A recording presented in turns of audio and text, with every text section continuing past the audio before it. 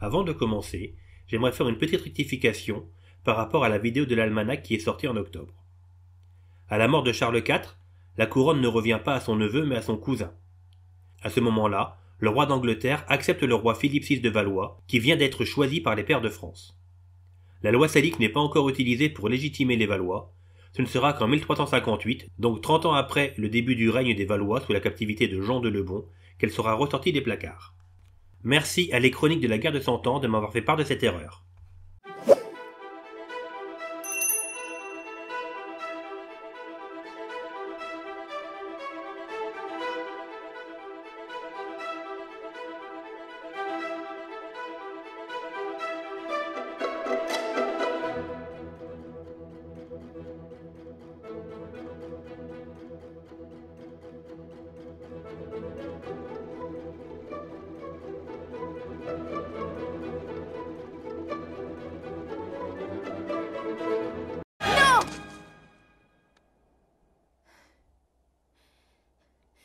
Tu veux tuer cet homme, tu devras me tuer d'abord. Ma fille, écarte-toi. Je refuse C'est l'homme que j'ai choisi. Vous avez tous vu ce film, j'en suis sûr. Et je suis sûr aussi que vous, comme moi, on ne connaît pas trop l'histoire des Amériques. Et comme l'histoire est basée sur des personnages réels, on peut s'imaginer que l'histoire est vraie, bien que légèrement romancée. Alors, comme je connaissais pas cette histoire, j'ai lu, j'ai cherché, et voilà ce que j'ai compris. La vraie histoire est bien différente, et désolé, mais je vais détruire votre enfance. Salut les Focusiennes, salut les Focusiens, et bonjour à tous les autres. Aujourd'hui, nous allons découvrir la véritable histoire derrière ce succès cinématographique, la vraie histoire de Pocahontas. Mais avant de commencer, n'oubliez pas de vous abonner, de mettre le pouce bleu et d'activer la cloche. La vraie histoire de la princesse amérindienne est longtemps restée méconnue, car elle ne correspond pas à l'histoire romantique que vend Disney à des millions d'enfants, en ne retenant que son idylle avec John Smith. La réalité est tout autre.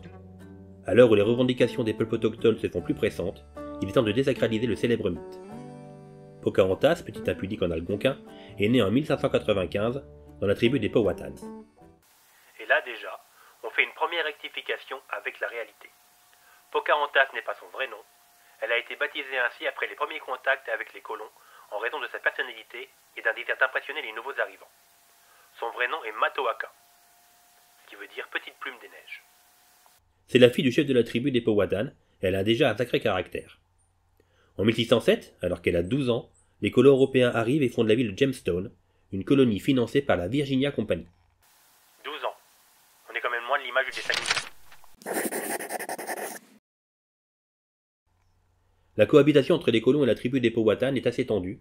Les colons, font de la faim, n'hésitent pas à piller les villages indiens en quête de nourriture.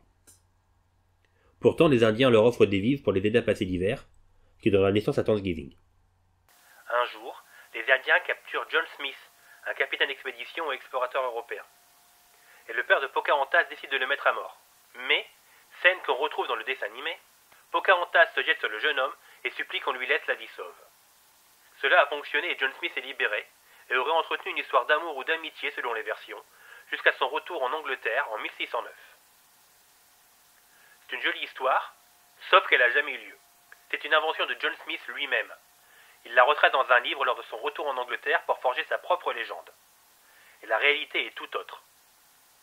En fait, ça pourrait être le chef qui a décidé de l'épargner, et c'est là que John Smith a aperçu Pocahontas. Les tensions montent d'un cran quand les colons s'en prennent encore à la tribu en violant plusieurs femmes amérindiennes, chose impardonnable pour les Powhatan. La guerre est déclarée, et ça tourne vite au vinaigre du fait de la supériorité numérique des Indiens et du manque de nourriture. John Smith enlève alors Pocahontas pour faire pression sur le chef de la tribu.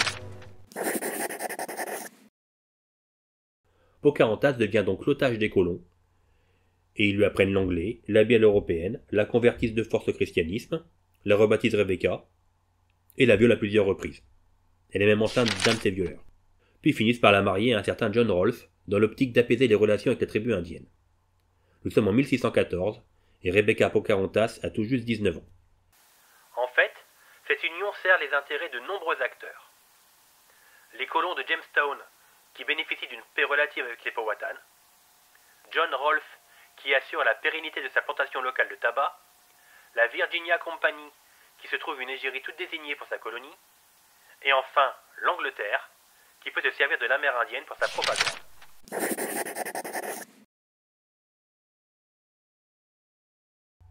Deux ans plus tard, John Rolfe, sa femme et le fils de celle-ci, l'enfant issu du viol, sont en voyage en Angleterre et sont présentés à la cour. Pocahontas y est vue comme une princesse sauvage qui a renoncé à son mode de vie barbare pour s'adapter à la civilisation chrétienne. Dans le royaume d'Angleterre, elle incarne les espoirs de l'Empire britannique et évente malgré elle les bienfaits de la colonisation et de l'assimilation. Elle permet aussi de montrer que les relations avec les autochtones qui vivent de l'autre côté de l'Atlantique sont excellentes. Mais l'envers du décor n'est pas tout rose. Pocahontas ne s'adapte pas à la vie anglaise et supplie son mari de revenir en Amérique. Ils embarquent direction les plantations de Rolfe, mais Pocahontas souffre de dysenterie et de pneumonie et meurt durant le voyage le 21 mars 1617 à l'âge de 21 ans. Elle sera enterrée dans l'église de Saint-Georges à Gravesend, en Angleterre, sous une tombe anonyme en dépit de la richesse de son mari. Son fils aussi tombe malade, mais lui, il survit. Il est quand même abandonné par John Rolfe et sera aidé par son oncle, qui le prend sous son aile et qui lui permet de récupérer les terres de son père à la mort de celui-ci. Mais la loi étant ce qu'elle est, toute relation des colons et des Amérindiens sont interdites, et il ne fera jamais connaissance de sa famille maternelle. Pocahontas a marqué l'image et la culture populaire. Héroïne malgré elle du récit de John Smith, son image sera utilisée pour la propagande anglaise et américaine et justifiera la civilisation des peuples amérindiens. Disney s'est inspiré de la version anglo-saxonne de sa vie pour son film, et non de l'histoire vraie, et on peut comprendre pourquoi. Côté amérindien, Pocahontas a longtemps été méprisée car elle symbolisait à leurs yeux la déresponsabilisation des colons pour les crimes commis envers leur peuple. La situation semble toutefois changer. Ironiquement, les films de Disney basés sur le livre de John Smith réconcilieraient les tribus avec Pocahontas. Dépeinte comme une femme belle et forte, les Amérindiens se sont finalement intéressés à ce personnage et ont découvert sa vraie histoire. Près de 400 ans après sa mort, Pocahontas pourrait donc finalement devenir une figure de proue des cultures amérindiennes et non plus un personnage de propagande. Pocahontas est l'une des seules femmes amérindiennes dont l'histoire est parvenue jusqu'à nous. Dans le folklore, elle incarne la virginité originelle de la civilisation américaine.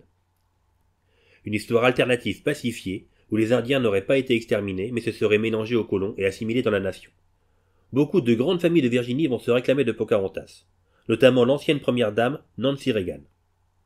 En 2018, Trump, jamais à l'abri d'une connerie, a traité la candidate démocrate Elizabeth Warren de Pocahontas un surnom ironique pour se moquer des origines amérindiennes de l'ex-sénatrice.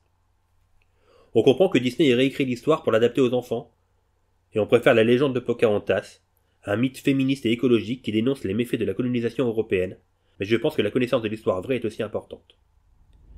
Merci d'avoir visionné cette vidéo, j'espère qu'elle vous a plu. N'oubliez pas de liker, de vous abonner et d'activer la cloche.